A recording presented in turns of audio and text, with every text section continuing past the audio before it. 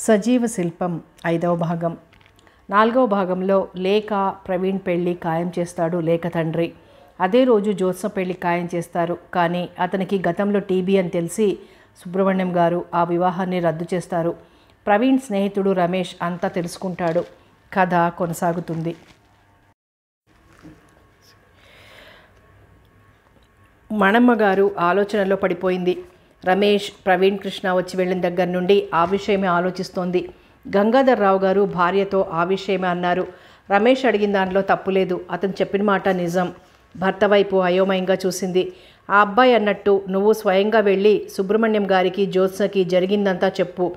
వాళ్ళు ప్రవీణ్ కృష్ణని అర్థం చేసుకుంటారు. నేను వాళ్ళ ఇంటికి వెళ్ళనా? నీతో పాటు నేను వస్తాను. పద. మీరు వస్తారా? అవును ఇద్దరం కలిసి వెళ్దాం. ఈ సంగతి నేను కూడా ఆయనకి వివరంగా చెప్తాను. ఉత్తరాలు కూడా తీసుకురా అన్నాడు. ఆవిడ క్షణంసేపు ఆలోచించుకొని తల ఊపింది అలాగే అన్నట్టు. ఆ తండ్రి కూతుళ్ళు ఇద్దరూ ప్రవీణ్ కృష్ణని అపార్థం చేసుకోవడానికి కారణం మనం. మనమే వాళ్ళ అనుమానాన్ని చెరిపివేయాలి.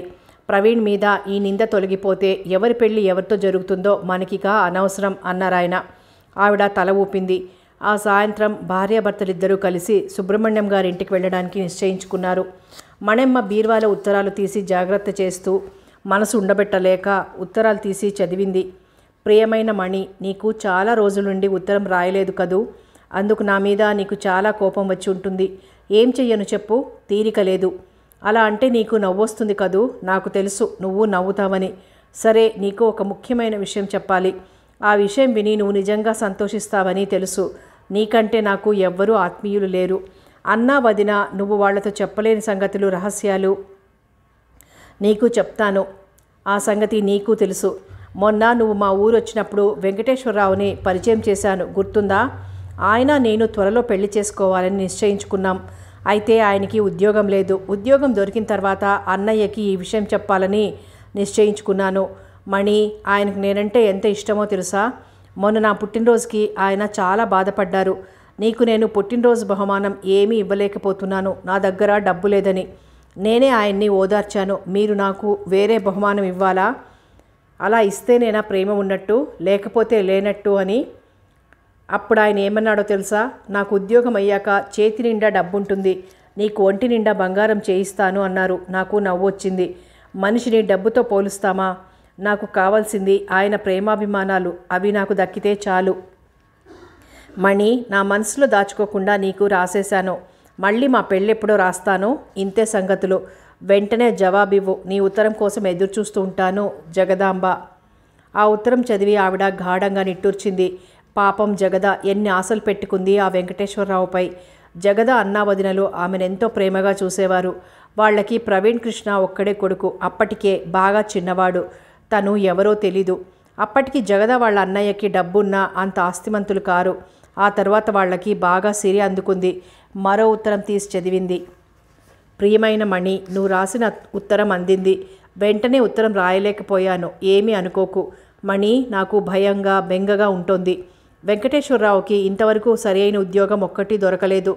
ఏదో ఉద్యోగం చేస్తున్నాను అన్నట్టు బట్టల షాపులో పద్దులు రాయటం ఆ పని చేస్తున్నారు. నెలకి ఎనభై రూపాయలు ఇస్తారు. మా అన్నయ్యకు చెప్తే ఆ సంబంధానికి ఇష్టపడతాడా చెప్పు? మా అన్నయ్యకు తెలియకుండా పెళ్ళి చేసేసుకుందాం నేను మీ వద్దకు వచ్చేస్తాను అంటే వినటం లేదు. పెళ్ళికి అంత తొందర ఎందుకు? నాకు మంచి ఉద్యోగం దొరికాక మీ అన్నయ్య నొప్పించి అప్పుడు చేసుకుందామని ఆయన అంటున్నారు. అన్నయ్య ఏమో నాకు సంబంధాలు చూస్తున్నారు. ఈ సంవత్సరం నా పెళ్ళి చేసేయడానికి నిశ్చయించుకున్నారు. ఎలాగా అని ఆలోచిస్తున్నాను. నాకు ధైర్యం చెప్పే వాళ్ళు కూడా లేరు. నన్ను ఇప్పుడు ఏం చేయమంటావు? నాకు నీ సలహా కావాలి. వెంటనే ఉత్తరం రాయి. జగదాంబ మణెమ్మకు కళ్ళనీళ్ళు తిరిగాయి. జగద చాలా ఉత్తరాలు రాసింది. తను జవాబులు రాసింది కూడా. వెంకటేశ్వరరావుకి ఒకరితో పరిచయం అయింది వాళ్ళు ఉద్యోగం ఇప్పిస్తాను అంటున్నారట. దేవుడి దయ వల్ల ఉద్యోగం వచ్చేస్తే మా పెళ్ళైపోతుంది అని ఒక ఉత్తరంలో రాసింది. మరో ఉత్తరంలో రాసింది. తనకి పెళ్ళి నిశ్చయమైపోయింది. పద్నాలుగో తారీఖున పెళ్ళి. నేను ఇప్పుడు ఏం చెయ్యను? పెళ్ళి ఇంకా వారం రోజులే ఉంది అని. ఇంట్లోంచి బయటపడి వెంకటేశ్వరరావుని పెళ్ళి చేసుకోవటం ఎలాగా అని ఆలోచిస్తున్నాను అని రాసింది. మరో ఉత్తరం తీసింది మణెమ్మ. ఆ ఉత్తరం చూడగానే దుఃఖం వచ్చింది. అదే ఆఖరి ఉత్తరం. మరిక ఉత్తరాలు లేవు. మనసంతా భారంగా అయిపోయింది. వణికే చేతులతో ఆ ఉత్తరం విప్పి చదివింది. మణి నేను జీవితంలో చాలా మోసపోయాను. మోసపోయి చివరకు నిలువ నీడ లేకుండా చేసుకున్నాను. భగవంతుడు మనిషికి ఆశలు ఎందుకు పెంచుతాడో అర్థం కాదు. నేను చాలా తెలివి తక్కువగా పండంటి జీవితం నాశనం చేసుకున్నాను. నా జీవితమే కాదు మా అన్నయ్య పరువు ప్రతిష్టలు గంగలో కలిపేశాను మణి. పరువుగా బ్రతుకుతున్న మా అన్నయ్యని ఇక ఊళ్ళో తలెత్త తల ఎత్తుకోకుండా చేసేశాను. నా పాపానికి నిష్కృతి లేదు మణి నిష్కృతి లేదు.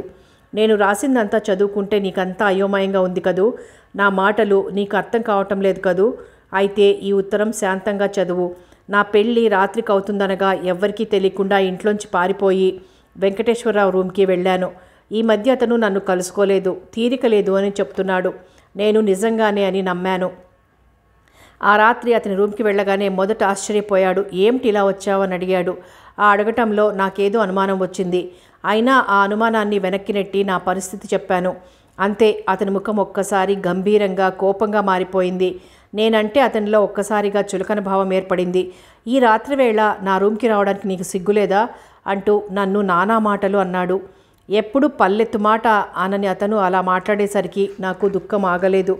నన్ను వెంటనే అక్కడి నుండి వెళ్ళిపోమని కసిరి పారేశాడు. నాకు మతిపోయింది. అప్పుడే ప్రాణం పోతుందేమో అని అనుకున్నాను. ప్రాణం పోలేదు.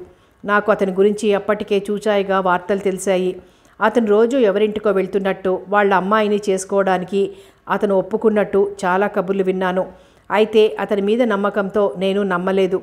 ఒకరోజు అతన్ని అడిగితే ఆ మాటలు నమ్మకం ఉద్యోగం కోసం వాళ్ళ ఇంటికి వెళ్తున్నాను అని చెప్పటంతో నేను నమ్మేశాను. ఆ రోజు రాత్రి అతని కాళ్ళ మీద పడి బ్రతిమాలేను. ఇద్దరం పెళ్ళి చేసుకుందాం. మీరు కాదంటే నేను ఎక్కడికి వెళ్తాను? ఇంట్లోంచి పారిపోయి వచ్చాను అని. అయినా అతనికి కనికరం కలగలేదు. కన్నీటితో అతని పాదాలు కడిగినా కరగలేదు. నిర్దాక్షిణ్యంగా నన్ను ఆ రాత్రివేళ ఇంట్లోంచి బయటకు గెంటేశాడు. నేను ఇంటికి తిరిగి వెళ్ళడానికి లేదు. ఏం చెయ్యాలి? తిన్నగా స్టేషన్కి వెళ్ళి కదులుతున్న ట్రైన్ ఎక్కేశాను. నాకెక్కడికి వెళ్ళాలో ఏమిటో మతిలేదు. ఏదో ఒక స్టేషన్లో దిగేశాను. మూడు రోజులు స్టేషన్లో మతిలేని దానిలా పడున్నాను. నేను ఇంకా ఎందుకు బ్రతికున్నాను? ఏం సాధించాలని? నా పరువు తీసుకుని అన్నయ్య పరువు తీశాను. ఇంకా బ్రతికుండి ఏం చేయాలి మనసులో ఒక నిశ్చయానికి వచ్చాను కవరు కొని స్టేషన్ మాస్టర్ పెన్ అడిగి ఉత్తరం రాస్తున్నాను. ఈ ఉత్తరం రాయడానికి ఒక కారణం ఉంది. నీకు నా పరిస్థితి అంతా చెప్పి నా మాట ఒకటి చెల్లించమని అడుగుతున్నాను. వెంకటేశ్వరరావు డబ్బు కోసం గడ్డి తినే మనిషి. వాడికి నువ్వు బుద్ధి చెప్పించాలి. ఎలా? వెంకటేశ్వరరావు పెళ్ళి చేసుకున్నాక అతను ఎక్కడ ఉంటున్నాడో నువ్వు తెలుసుకోవాలి. అతనికి కూతురు పుట్టింది అని తెలిసాక వాళ్ళ గురించి నువ్వు మర్చిపోవద్దు. ఆ అమ్మాయి పెరిగి పెద్దయ్యాక పెళ్ళి వయసు వచ్చాక వాళ్ళని అలా ఉంచు. నా మేనల్లుడు ప్రవీణ్ కృష్ణ ఎక్కడ ఏ ఊళ్ళో ఉన్నాడో తెలుసుకుని అతనికి పెళ్ళి కాకుండా అడ్డు చెప్పైనా సరే వెంకటేశ్వరరావు కూతురుతో స్నేహమైనట్టు చెయ్యి. ఆ స్నేహం ప్రేమగా మారి పెళ్ళిదాకా దారి తీసేటట్టు చెయ్యాలి. అది నీ వల్లే అవుతుంది. అప్పుడు కానీ ఆ వెంకటేశ్వరరావు కళ్ళు తెరుచుకోవు. ప్రేమించిన వాడితో పెళ్ళి జరగకపోతే ఆ అమ్మాయి ఎంత కుమిలి కుమిలి ఏడుస్తుందో వాడికి తెలియాలి. నా ఏడుపు ఈరోజు అతన్ని కదిలించలేదు. కూతురు ఏడుపు అతన్ని కరిగించకుండా ఉంటుందా? మణి నువ్వు నాకు ఈ విషయంలో మాట ఇవ్వాలి. నేను ఎదుట లేకపోయినా ఎదుట నిలిచి అడిగినట్టే భావించు. నా పంతం చెల్లించు. ఇక నేను బ్రతికి నిష్ప్రయోజనం. అందుకే ఒక నిశ్చయానికి వచ్చాను. జరిగిందంతా నీకు ఉత్తరం రాసి పోస్ట్ చేసి ఈ రాత్రికి రైలు కింద పడిపోవడానికి నిశ్చయించుకున్నాను. నీకు ఈ ఉత్తరం అందేసరికి నేను అంటూ భూమి మీద ఉండను. నా ఆఖరి కోరిక ప్రవీణ్ ద్వారా వెంకటేశ్వరరావుకి బుద్ధి చెప్పించటం. నేను అంటూ గుర్తొస్తే రెండు కన్నీటి బొట్లు రాలుస్తావు కదూ? జగదాంబ.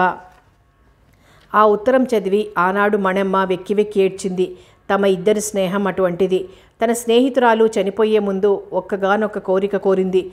మణమ్మ ఆనాడు మనసు రాయి చేసుకుని జగదంబ ఫోటో దగ్గర ప్రమాణం చేసింది. నీ కోరిక తప్పక నెరవేరుస్తాను అని. ఆమెకిచ్చిన మాట ప్రకారం ఈ రోజున ఇంత కథ నడిపించింది. వెంకటేశ్వరరావు వాళ్ళ గురించి ఎక్కడ ఉన్నది తెలుసుకుంది. ప్రవీణ్ గురించి తెలుసుకుంది. అతని చేత ఆ విధంగా నాటకం ఆడించింది. ఆ ఉత్తరాలన్నీ తీసుకెళ్ళి సుబ్రహ్మణ్యం గారికి జ్యోత్సకి చూపించాలి అని నిశ్చయించుకుంది. జోసఫ్ పెళ్ళి నిశ్చయమైపోయింది. సుబ్రహ్మణ్యం గారికి ఇక బెంగ అనేది లేదు. ఆ సంబంధం తప్పిపోయినా కూతురు పెళ్ళి ఆగిపోకుండా పెళ్ళి జరిగిపోతుంది అని సంతోషించారు. అందుకే రెట్టింపు ఉత్సాహంతో భారీ ఎత్తున పెళ్ళి ఏర్పాట్లు చేయిస్తున్నారు. పెళ్ళివారు చెప్పేశారు మాకు విడిదిల్లు అది వద్దు. పెళ్ళి టైంకి వస్తామని. ఆయన సరే అన్నారు. మర్నాడు రాత్రి పెళ్ళి ఇంటి నిండా బంధువులతో ఇల్లు మహాసందడిగా ఉంది. ఆ రోజు ఉదయం ప్రవీణ్ కృష్ణ ఇల్లు మహాసందడిగా ఉంది. బస్సులు కార్లు అన్నీ గేటు ముందు ఆగి ఉన్నాయి. అందరూ పెళ్ళికి కారుల్లో బస్సుల్లో బయలుదేరి వెళ్ళారు పెళ్ళివారు విడిదింట్లో దిగటంతో వెంకటేశ్వరరావు గారు హడావుడి పడిపోతూ వాళ్ళకి ఎంతో మర్యాదలు చేయించారు. ఉదయం భోజనాలు అయ్యాయి. మధ్యాహ్నం కాఫీ టిఫిన్లు ఇచ్చారు. ఆ రాత్రి ఏడు గంటలకి పెళ్ళివారి కోసం ప్రత్యేకంగా సాంబమూర్తి కళామందిరంలో డ్రాన్స్ ప్రోగ్రాం ఏర్పాటు చేయించారు. పెళ్ళి వాళ్ళందరూ బస్సుల్లో కారుల్లో సాంబమూర్తి కళామందిరానికి వెళ్ళారు ప్రవీణ్ కృష్ణ ఇద్దరు ఫ్రెండ్స్ మాత్రం వెళ్ళలేదు. ఆ డ్యాన్స్ ప్రోగ్రాం అయిపోయిన తర్వాత అందరూ ప్రవీణ్ కృష్ణని తెగ పొగిడారు. నువ్వు చాలా అదృష్టవంతుడివి. నీకు మంచి సంబంధం వచ్చింది. ఒక్కతే కూతురు. మావగారికి ఊళ్ళో మంచి పేరు లక్షల ఆస్తి ఉంది. ఇక నీకేం అన్నారంతా? ప్రవీణ్ కృష్ణ తనలో తాను గర్వపడ్డాడు కూడా. అంతలోనే అతని మనసు చివుక్కుమంది. ఒక అమ్మాయికి నేనెంతో అన్యాయం చేస్తున్నాను అని. ఫ్రెండ్స్ గొడవలో పడి ఆ విషయం మర్చిపోయాడు. అందరూ ఆ రోజంతా సరదాగా గడిపేశారు. మర్నాడు రాత్రి పెళ్ళి. పెళ్ళి వాళ్ళకి అన్ని సదుపాయంగా చూసి ఏ లోటు రానివ్వకుండా అడుగడుక్కి నౌకర్లను పెట్టించారు వెంకటేశ్వరరావు గారు. చంద్రలేఖ ఫ్రెండ్స్ అందరి మధ్య సిగ్గుల మొగ్గలా కూర్చుంది. వాళ్ళ హాస్యాలను భరించలేక ముఖాన్ని చేతులతో కప్పుకొని కూర్చుంది. చంద్రలేఖ ఫ్రెండ్స్ అందరూ విడిదింటికి వెళ్ళి ప్రవీణ్ కృష్ణని అతని ఫ్రెండ్స్ని ఒక ఆట ఆడించి నవ్వుకుని వెళ్ళిపోయారు. వాళ్ళు కూడా ఏం కోపం తెచ్చుకోకుండా అంతా సరదాగా నవ్వుతున్నారు. చంద్రలేఖకి ఈ విషయం తెలిసి ముసిముసిగా నవ్వుకుంది. ఆ రాత్రే పెళ్ళి. ప్రవీణ్ కృష్ణ ఫుల్ సూట్ వేసుకొని తలకి పాగా చుట్టుకొని మెడలో పూలహారాలు వేసుకొని ముస్తాబయ్యాడు కారులో కూర్చుని బ్యాండ్తో ఊరేగి పెళ్ళివారింటికి వెళ్ళడానికి సిద్ధపడ్డాడు. విడిదింటి నుండి కారులో బయలుదేరాడు. బ్యాండ్తో ఆ వీధి నుండి చుట్టూ తిరిగి బయలుదేరింది కారు. పెళ్ళి ముహూర్తం తగ్గ దగ్గర పడుతోంది. పెళ్ళి కొడుకు ఇంకా రాలేదు. పురోహితుడు తొందర చేస్తున్నాడు. పెళ్ళి కొడుకుని త్వరగా రమ్మనండి. ముహూర్తం దాటిపోతోంది అంటూ చంద్రలేఖ పెళ్ళి ముస్తాబులో మేడ మీద కూర్చుంది. పెళ్ళి కొడుకు వచ్చి పీటల మీద కూర్చున్నాక పెళ్ళి కూతుర్ని తీసుకొస్తారు. పెళ్ళికొచ్చిన బంధుమిత్రులు వరుసగా కుర్చీల్లో అలా కూర్చున్నారు.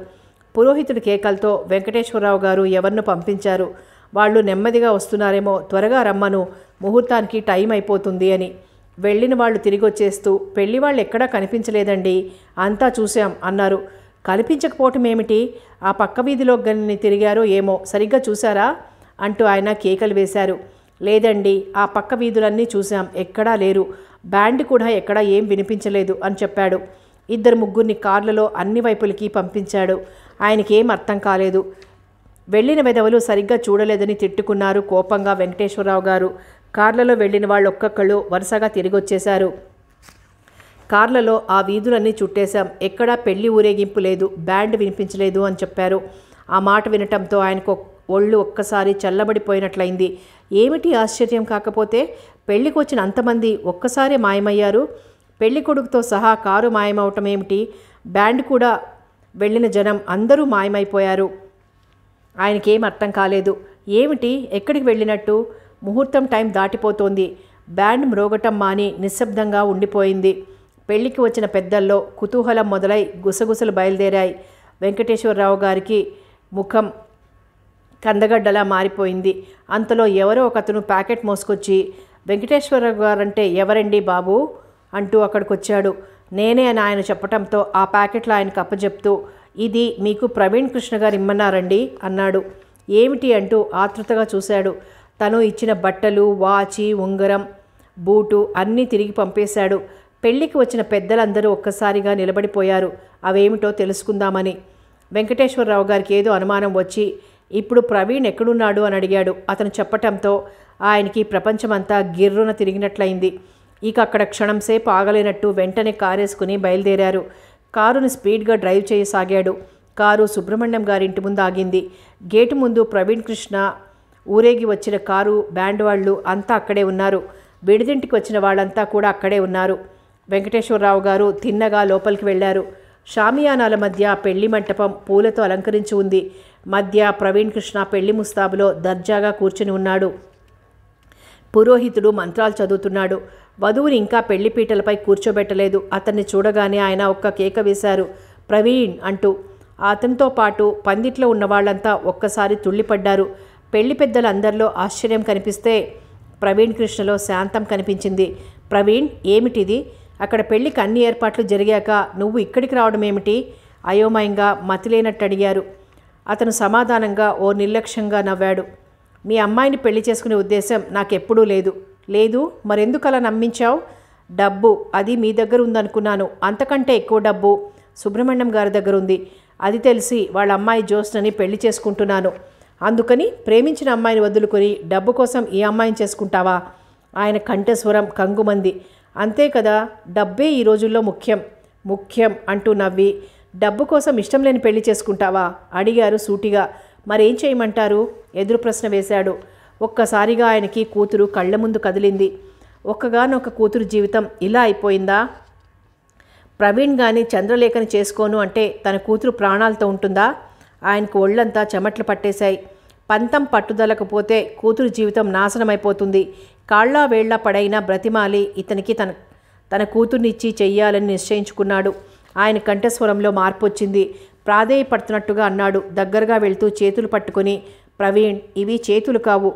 పెద్దవాడిని బ్రతిమాలుకుంటున్నాను. నా కూతురికి అన్యాయం చేయకు. అది అమాయకురాలు. నిన్ను నమ్ముకుని నీ మీదే మనసు నిలుపుకుంది. ఇప్పుడు నువ్వు కాదంటే అది బ్రతకలేదు అంటూ బ్రతిమాలాడు. పీటలపై కూర్చున్నా నేను ఎలా వస్తాను? ప్రవీణ్ నీ కాళ్ళు పట్టుకుంటాను. పెళ్ళి ఇంకా కాలేదు. నువ్వు లేచి రావాలి అంటే లేచి రావచ్చు. అతను రాలేను అన్నట్టు తల తిప్పాడు. ప్రవీణ్ అంటూ కాళ్ళు పట్టుకోబోయాడు. అతను చటుక్కున లేచి కాస్త వెనక్కి వెళ్ళి నిలబడ్డాడు. పెళ్ళికి వచ్చిన పెద్దలు అలా నిశ్శబ్దంగా ఉండిపోయారు. సుబ్రహ్మణ్యం గారు గంగాధర్రావు గారు మణమ్మ అందరూ దూరంగా నిలబడి చూస్తున్నారు. బ్యాండ్ మ్రోగటం ఆపేశారు. పురోహితుడు మంత్రాలు చదవటం మానేశాడు. అందరూ అలా చూస్తూ ఉండిపోయారు. బాబు ప్రవీణ్ నా మాట విను. లేఖ గురించి ఒక్క క్షణం ఆలోచించు. అతను తల విదిలించాడు. ఆమెకు నాకు ఇక ఎలాంటి సంబంధం లేదు అన్నాడు ఖచ్చితంగా చెప్పేస్తూ. ప్రవీణ్ అలా అనకు నీ కాళ్ళు పట్టుకుంటాను అంటూ అంత మనిషి అభిమానాన్ని చంపుకొని వంగి ప్రవీణ్ కాళ్ళు పట్టుకున్నాడు. ప్రవీణ్ ఆయన చేతుల్ని విదిలించుకోవాలన్నా సాధ్యం కాలేదు. ప్రవీణ్ నా కూడా రా నమ్ముకున్న అమ్మాయి జీవితం నాశనం చెయ్యకు అంటూ బ్రతిమాలాడు. సుబ్రహ్మణ్యం గారు గంగాధర్రావు గారు ముఖాముఖాలు చూసుకున్నారు. ఆయన సుబ్రహ్మణ్యం గారికి కళ్ళతోనే సైగ చేశారు. కాసేపు ఆగి చూద్దామన్నట్టు. వెంకటేశ్వరరావు గారు ప్రవీణ్ కృష్ణ ఎన్ని విధాలా ప్రాధేయపడి బ్రతిమాలినా అతని మనసు కరగలేదు. ఇక ఆయనలో ఓర్పు నశించింది. కళ్ళల్లో ఎర్రజీరలు అలుముకున్నాయి. నిప్పులు కురిసే కళ్ళతో నిటారుగా నిలబడిపోయాడు. ప్రవీణ్ ఆయన గట్టిగా అరిచారు. ఎంత మాయ చేశావు? అమాయకురాలైన నా కూతుర్ని నమ్మించి మోసం చేశావు. పెళ్ళి చేసుకుంటానని కల్లిబొల్లి కబుర్లు చెప్పావు. అన్యాయం అయిపోతావు నా పిల్లను కాదని నువ్వేం బాగుపడతావు? దాని కన్నీళ్ళు దాని ఉసురు నీకు తగలకపోదు. జీవితమంతా పశ్చాత్తాపంతో కుమిలిపోతావు అంటూ ఆవేశంతో అన్నారు. ప్రవీణ్ కృష్ణ చూపుల్లో ఒక నిర్లక్ష్యమైన భావం కనిపించింది. నువ్వు నన్నేం చేయగలవులే? నీ పాపాల కంటే ఎక్కువ నేను చేసిన పాపం అన్నట్టున్నాయి అతని చూపులు. ధనదాహంతో కళ్ళు పొరలు కమ్మి ఒక ఆడపిల్ల గొంతుకొస్తావా నిన్ను అంటూ ఆవేశంతో మీదికొచ్చారు. చెయ్యెత్తి కొట్టి కలబడపోతున్న ఆయన వైపు ఆపుకోలేని కోపంతో చూశాడు.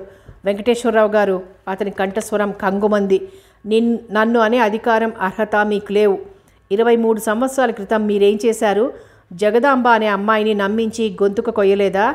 పెళ్ళి చేసుకుంటానని మాయమాటలు చెప్పి ధనదాహంతో ఆమె ఆశలు సమాధి చేయలేదా? మీరు ఒక పెద్ద మనిషా? మీరు నాకు నీతులు బోధిస్తూ పాపపుణ్యాల గురించి చెప్తున్నారా? జగదంబ గురించి ప్రవీణ్ కృష్ణ చెప్పటంతో ఆయనకి నోట మాట రాలేదు. నిలువు గుడ్లేసుకొని కళ్ళప్పగించి అలా చూస్తుండిపోయారు ఇవిగో మా అత్తయ్య మణమ్మ గారికి రాసిన ఉత్తరాలు. అవి చదివితే మీరు చేసిన పాపం దగ్గర నేను చేసిన పని చాలా తక్కువే అని అర్థమవుతుంది అంటూ జేబులో ఉత్తరాలు ఆయన వైపు గిరాటేశాడు. వెంకటేశ్వరరావు గారు మతిలేనివాడిలా ఉత్తరాలు తీసి ఒక్కొక్కటి చదవసాగాడు. ఉత్తరాలు చదివిన ఆయన తలెత్తి అయితే నువ్వు అంటూ అయోమయంగా చూశారు. నేను ప్రవీణ్ కృష్ణని జగదంబ మా అత్తయ్య మా నాన్నగారికి తోడబుట్టిన చెల్లెలు. జగదంబ మేనల్లుణ్ణి మీకు బుద్ధి చెప్పడానికి మీ అమ్మాయిని ప్రేమించినట్టు నాటకమాడాను. పెళ్ళి కాని అమ్మాయి ప్రేమించిన వాడిపై ఎన్ని ఆశలు పెట్టుకుంటుందో అతడు కాదంటే ఎంత కుమిలిపోతుందో ఆ బాధ మీకు తెలియాలంటే ఎలా? దెబ్బకు దెబ్బ తీశాను ఇక మీరు వెళ్ళొచ్చు అంటూ ఖచ్చితంగా చెప్పేసి పెళ్ళిపీటలపై కూర్చొని పురోహితుడికి సైగ చేశాడు కానివ్వండి అంటూ. ఆ సైగను అర్థం చేసుకున్న పురోహితుడు గొంతు చించుకొని మంత్రాలు చదవసాగాడు. మంగళ వాయిద్యాలు రెట్టింపు ఉత్సాహంతో మ్రోగసాగాయి. పేరంటాళ్ళు జ్యోత్స్నాన్ని తీసుకువచ్చి అతని పక్కన పీటలపై కూర్చోబెట్టారు. ప్రవీణ్ కృష్ణ ప్రవీణ్ కృష్ణ జ్యోత్స్నుల కళ్ళల్లో కాంతి తళుక్కుమంది. ఇద్దరి మనసులు క్షణంసేపు సంతోషంతో పొంగిపోయాయి. ప్రవీణ్ కృష్ణ జ్యోత్స్న మెడలో మూడు ముళ్ళు వేసేశాడు. పెళ్ళి తంతు ముగిసింది. అందరూ ఒక్కొక్కళ్ళు వెళ్ళిపోతున్నారు. అంతలో రమేష్ వచ్చి ప్రవీణ్ కృష్ణకి మెల్లగా ఏమో చెప్పాడు. అంతే అతను లేఖ అంటూ ఒక కేక పెట్టాడు. అతని కేకలకి ఆ ఇల్లంతా మారుమోగిపోయింది. అతను ఇంకేం ఆలోచించలేదు. బయటకు పరిగెత్తి కారులో వెంకటేశ్వరరావు గారి ఇంటికి బయలుదేరాడు. ప్రవీణ్ కృష్ణ వెళ్ళేసరికి లేక మంచం మీద ఒళ్ళు తెలియని స్థితిలో పడి ఉంది. తల తండ్రి ఒడిలో ఉంది. వెంకటేశ్వరరావు గారు కూతురి తల ఒడిలో పెట్టుకొని రోదిస్తున్నారు అమ్మా లేక ఒక్కసారి నా వైపు నా వైపు చూడమ్మా. నేను డాడీని తల్లి అంటూ పిచ్చిగా మాట్లాడుతున్నారు. గుమ్మంలో అలికిడి అవటంతో తల తిప్పి చూశారు. ప్రవీణ్ని చూస్తూనే వచ్చావా బాబు? దెబ్బకు దెబ్బ తీశారని గర్వపడ్డావు. మురిసిపోయావు పొంగిపోయావు. ఆఖరికి నా కూతురు ప్రాణాన్ని బలికోరావు అంటూ దుఃఖిస్తూ బాబు నా మీద కక్ష తీర్చుకోవాలి అంటే నీకు వే వేరే మార్గమే లేదా? ఇంకే మార్గం దొరకలేదా? అంటూ బావురుమన్నారు. ప్రవీణ్ కృష్ణకి ఆ మాటలు ఏం వినిపించలేదు. ఆమె వైపే చూస్తూ మెల్లగా ఒక్కో అడిగే వేస్తూ మంచం సమీపించాడు. లేఖ అతని పెదవులు అస్పష్టంగా పలికాయి. అమ్మా లేఖ నా తల్లి నిన్ను చూడడానికి ప్రవీణ్ వచ్చాడమ్మా. ఒక్కసారి కళ్ళు తెరిచి చూడమ్మా అంటూ బ్రతిమాలుతూ దుఃఖపడసాగారు. ప్రవీణ్ మెల్లగా మంచం మీద కూర్చొని ఆమె తలని ఒడిలోకి తీసుకొని ఆమె చెంపలు జుత్తు మెల్లగా నిమురుతూ లేఖ అంటూ పిలిచాడు. అతని గొంతు భారంగా బరువుగా పలికింది. ఆమె మెల్లగా తల తిప్పి అటూ ఇటూ కదలసాగింది. లేఖ అంటూ ఆతృతగా పిలిచాడు. ఆమె ఊ అంటూ మూలిగింది. అప్పటికే సుబ్రహ్మణ్యం గారు గంగాధర్రావు గారు మణెమ్మ జ్యోత్స్న రమేష్ అంతా అక్కడికి వచ్చేశారు ఎవ్వరూ దగ్గరకు రాలేదు. దూరంగా నిలబడి అలా చూడసాగారు. తండ్రి వచ్చి చెప్పటంతో విషయం అర్థం చేసుకున్న ఆమె తలుపులు మూసుకుంది. తలుపులు పగలగొట్టి లోపలికి వెళ్తే ఆమె మంచం మీద పడి ఉంది. చావు బ్రతుకుల మధ్య ఊగిసలాడుతూ పాయిజన్ ఆమె ప్రాణం కావాలని పంతం పట్టి కూర్చుంది. డాక్టర్లు వచ్చి చూసినా లాభం లేకపోయింది. ప్రాణం ఇంకా పోకపోయినా ఆమె కొన ఊపిరితో ఉంది. కొద్దిసేపటికి కళ్ళు తెరిచి చూసింది. మొదట ఆమె కళ్ళకేం కనిపించలేదు. మసగ్గా ఎలాగో కనిపించసాగింది. తర్వాత తర్వాత కనిపించటంతో అతన్ని చూసి గుర్తుపట్టింది. మీరొచ్చారా? ఆమె పెదవులు అస్పష్టంగా కదిలాయి. ఆమె గొంతుక తడారిపోతుంది. లేక అతను బావురమంటూ ఆమె తలపై తన తల పెట్టేసి దుఃఖపడసాగాడు. ఆమె పెదవులపై నీరసహాసం త్రుటికాలం మెరిసి మాయమైంది. కనురెప్పలు బరువుగా మూతలు పడుతున్నా కళ్ళు బలవంతంగా తెరిచి అతని వైపు చూస్తూ అంది. మీ అత్తయ్య పట్ల అంటూ ఆయాసంతో ఆగి మా డాడీ చేసిన తప్పుకి నేను మా డాడీకి కఠినమైన అంటూ ఆగి మళ్ళీ చెప్పసాగింది. ఆమెకు మాటలు రావటం లేదు. కళ్ళు మూతలు పడిపోతున్నాయి. గొంతుక తడి ఆరిపోతోంది. ఒళ్ళు చల్లబడిపోతోంది. శరీర కాంతి తగ్గి నల్లగా కమిలిపోయినట్టు మారిపోతుంది. శిక్ష విధించి వెళ్ళిపోతున్నాను అంటూ ఆఖరి మాటలు చెప్పలేక ఎడం చేతిని గాల్లో తిప్పింది. అంతే ఆమె మాటలు మరి వినిపించలేదు. కన్నురెప్పలు శాశ్వతంగా మూతలు పడిపోయాయి. ఆమె ప్రాణవాయువులు అనంత విశ్వంలోకి ఎగిరిపోయాయి. లేఖ అంటూ ఒక్కసారిగా బిగ్గరగా అరిచాడు. అతనికి ప్రపంచం గిర్రున తిరిగిపోతున్నట్టుగా అయింది. లేఖ నన్ను క్షమించు అంటూ రోధించసాగాడు. వెంకటేశ్వరరావు గారు కూతురు మరణించడంతో స్పృహ తప్పి వెనక్కి విరుచుకుపడిపోయారు. అక్కడ ఉన్న వాళ్ళంతా కంటతడి పెట్టసాగారు. ఇలా జరుగుతుందని ఎవ్వరూ ఊహించలేదు. లేఖ నువ్వు చనిపోలేదు. నువ్వు చిరంజీ చిరంజీవివి. నా హృదయాలయంలో సజీవ శిల్పానివయ్యి కలకాలం నిలిచిపోయి ప్రతినిత్యం నీరాజనాలు అందుకుంటావు. ఈ మాట నిజం. అంటూ ఆమె తలని గుండెలకు హత్తుకుని రోధించాడు. అందరి హృదయాలు భారమైపోయాయి. ఆ ఇల్లు ఆమె మరణించటంతో మరుభూమిగా మరుభూమిగా మారిపోయింది. సజీవ శిల్పం నవల సమాప్తం. మరో మంచి నవలతో మళ్ళీ కలుద్దాం.